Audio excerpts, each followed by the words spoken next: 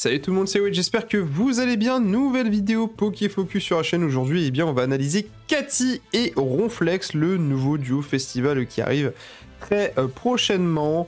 Euh, et on va voir ensemble si c'est un bon duo ou pas. oui, encore un Ronflex Fest, et vous allez voir qu'il n'y a pas réellement de changement avec l'autre euh, Ronflex. Alors si, y a bien évidemment quelques changements notables, mais on est encore sur un Ronflex soutien Fest, exactement comme Red et Ronflex, donc ça fait chier, hein, parce que très clairement, un Ronflex, on aurait préféré en avoir un euh, d'un autre type, voire même un Ronflex Scout, et vous allez voir que clairement ce duo aurait dû être Scout selon moi, il mérite clairement pas d'être Fest, c'est pour moi le moins bon duo de ce mois-ci, alors après ça veut pas dire que le duo est poubelle, mais presque, euh, il est vraiment Osef, vous allez voir, il n'y a pas grand chose à dire dessus, bref.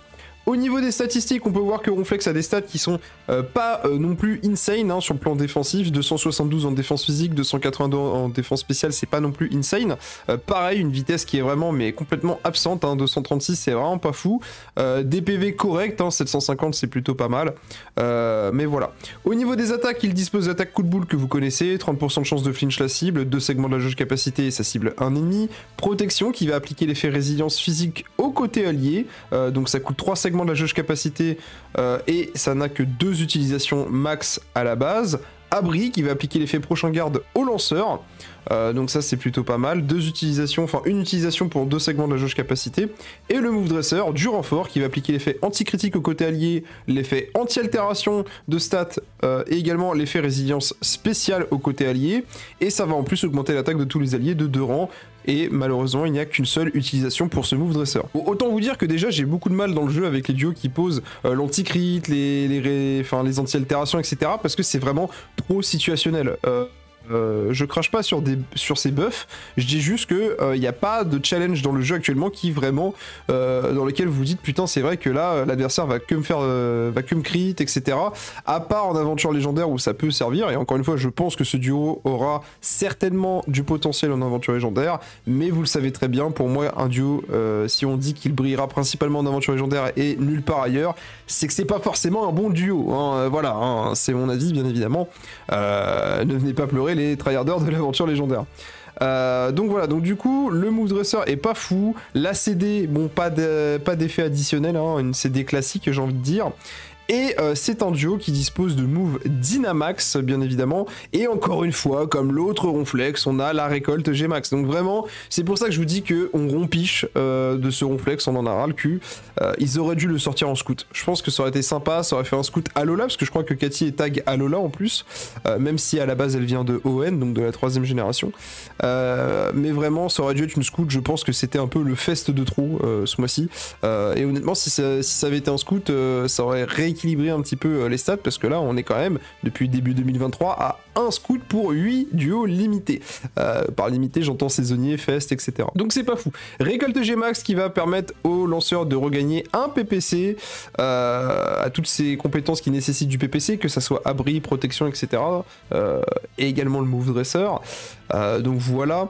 Au niveau des talents passifs, on a le premier talent qui va augmenter la défense spéciale de tous les alliés de 1 rang quand vous utilisez une capacité à usage limité, donc abri, protection, ça fonctionne, hein, d'accord Donc quelque part, Ronflex va pouvoir améliorer la défense spéciale de votre équipe très lentement, hein, je vous l'accorde, mais quand même, il pourra le faire sur la durée. Donc c'est pour ça, en aventure légendaire, ça sera très très bien, vu que les combats durent plus longtemps que la normale, mais sur des combats court terme, ça n'a pas grand intérêt. Voilà. Euh, le deuxième passif, effet équipe 5 stat up 2, qui va permettre à Ronflex d'augmenter son attaque, sa défense, son attaque spéciale et sa défense spéciale, ainsi que la vitesse de 20% lorsque les effets qui ne s'appliquent pas, enfin qui s'appliquent qu'au côté allié sont appliqués. Protection, la résilience spéciale, etc. Euh, donc en vrai avec ce passif, bah, par rapport à ses stats, il a quasiment le même bulk que Tortank, ce qui est quand même pas dégueu, merci à ce passif. Par contre, il faut qu'il y ait en permanence un effet euh, qui s'applique qu'à votre côté. Hein. donc la protection, la résilience, etc. Euh, sinon, vous perdez ce bulk et euh, du coup, vous perdez en résistance et en vitesse. Forcément aussi, parce que la vitesse est prise en compte. Et enfin, dernier passif, le capacité du Dynamax soin 5 qui va permettre au lanceur de regagner 50% de CPV après l'utilisation bah, d'un move Dynamax, donc ça c'est plutôt pas mal. Ça permet à Ronflex de s'auto-heal dès lors qu'il fait son move G-Max. Donc ça c'est assez intéressant. Bon globalement vous allez voir que c'est pas folichon, on va analyser les plateaux bien évidemment. le plateau 1-5, pas grand chose à dire, on a du récup sur abri et sur protection, ce qui n'est pas intéressant. Et sinon voilà, il y a vraiment rien d'autre à dire, c'est des gains de statistiques, donc on va pas s'y attarder plus que ça.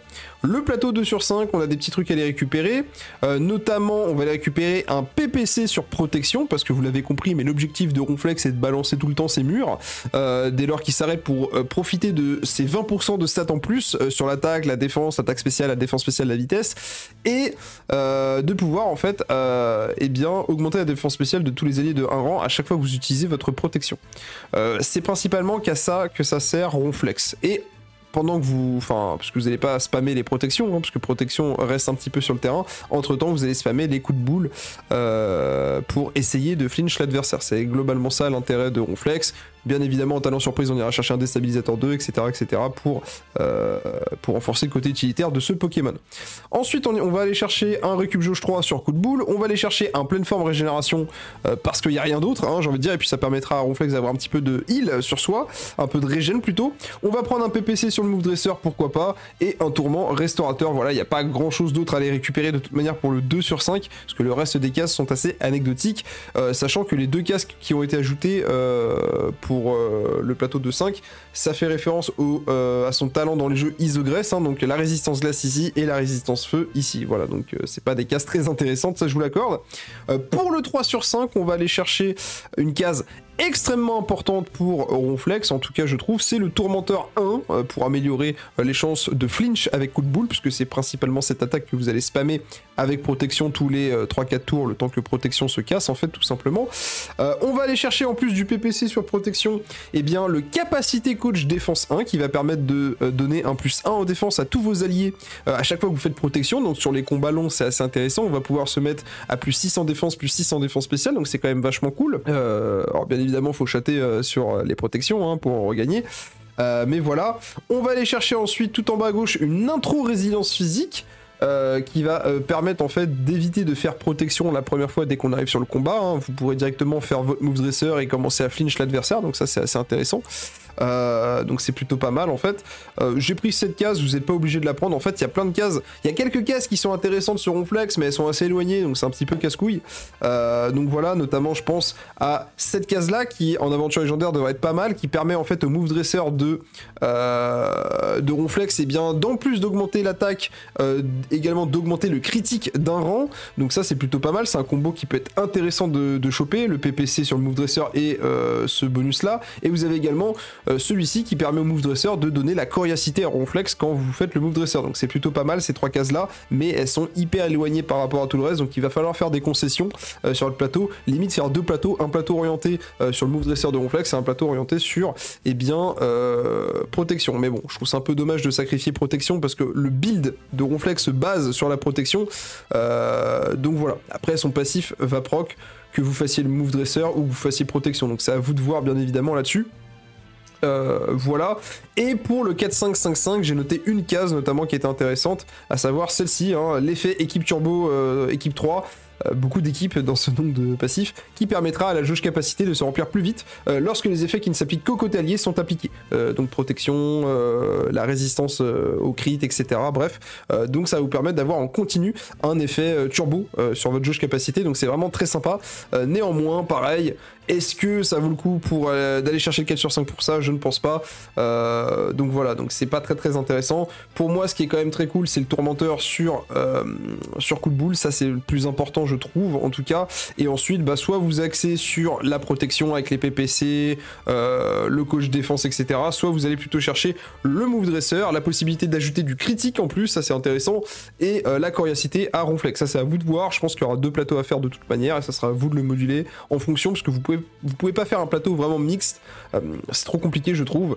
surtout que cette case-là est vachement intéressante en 4 sur 5. Après, pour le 3-5, ça peut se négocier. Hein. Vous pouvez totalement squeeze cette partie-là et aller chercher au moins le PPC et en retirant 2-3 trucs à gauche à droite, il y a moyen de moyenner pour essayer d'aller chercher ces cases là peut-être, voilà, mais sinon c'est pas très très intéressant. Vous l'avez compris, le plateau de Ronflex est emmerdant, le duo est soporifique au possible, je n'aime pas ce duo, voilà, je trouve qu'en fait l'avoir mis en fest c'est un petit peu con, hein. je l'aurais bien vu en scout, sachant qu'à Lola, je rappelle que l'année dernière il y a eu qu'un seul scout d'Alola, c'était... Euh, euh, non, pas un seul scout, il y a eu un seul duo pardon d'Alola, c'était Poltergeist qui était saisonnier donc limité. Donc ça fait très longtemps qu'on n'a pas eu de scout Alola, donc ça aurait été bien euh, qu'on ait un scout, mais bon, qu'est-ce que je vous dise donc voilà, je dis pas Complexe c'est un mauvais duo, mais autant Dratatan, je pense qu'avec du recul, il y a moyen de faire quelque chose en dehors de l'aventure légendaire avec lui. Autant Ronflex, en dehors de l'aventure légendaire, ça va être très compliqué de le sortir. le duo est fait pour être présent sur des combats qui durent dans le temps et la 95% des combats sur Masters à part l'aventure légendaire c'est des combats que vous allez one shot donc euh, je vois pas trop l'intérêt de Ronflex à titre personnel voilà donc comme d'habitude n'hésitez pas à me dire dans les commentaires ce que vous pensez du duo pour le talent surprise Destab 2 ça me paraît bien ou l'immunité critique ça vous de voir euh, même s'il se la donne déjà avec le passif donc euh, enfin avec le move pas très intéressant de lui donner, je pense. Donc voilà les amis, ce que j'avais à dire sur Ronflex et Cathy, n'hésitez pas à me dire si vous allez invoquer ou pas, je vous déconseille d'invoquer en tout cas. Euh, je ferai quand même les daily pour la collection, vous connaissez hein, euh, la chanson, la collection Itegu, on est sur un jeu de collection avant tout, donc ça va daily pour choper euh, le 1-5 potentiellement, et pourquoi pas plus, hein, pourquoi pas le tester en aventure légendaire avec vous, ça peut être intéressant.